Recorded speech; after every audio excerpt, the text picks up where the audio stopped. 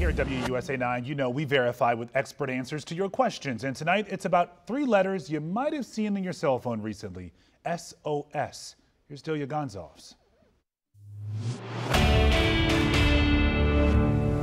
Important calls dropped, texts that won't send, posts that won't load. It can be frustrating and it can even happen in big cities when the bars can't keep up. If you have an iPhone, you might have seen a little status icon in the corner of your screen that says SOS or SOS only when you don't have any service. Some Androids have similar features. So a lot of folks are asking, what does that mean? We went to Apple, the FCC, and the National 911 program to verify.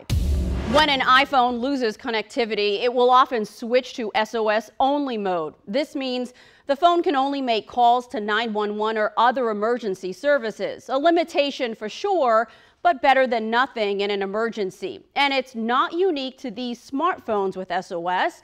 According to FCC E911 rules, wireless carriers in the U.S. are required to connect any and all 911 calls even if the caller isn't subscribed to their service.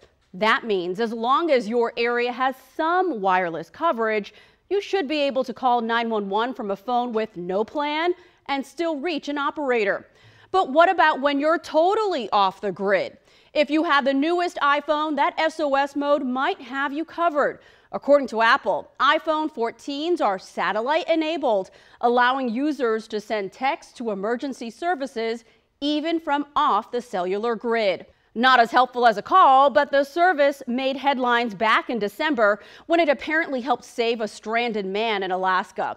It could also be useful if you're traveling without a SIM card.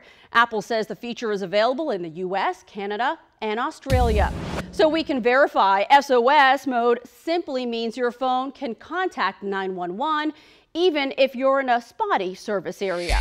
Now, if you're having regular issues, check your provider's coverage map to see how their service works where you spend your time.